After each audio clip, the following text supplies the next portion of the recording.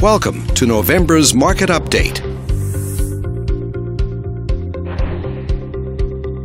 Let's take a look at residential real estate activity in your area during the month of October. The number of active listings was down 50% from one year earlier and down 16% from the previous month. This smaller inventory means that buyers who waited to buy may have had a smaller selection to choose from. As you can see, the median listing price for the month was just over $180,000. Compared to last year, the average number of days that units spent on the market before being sold was down 24%. This lower number of days may signal a positive trend in the local inventory turnover rate.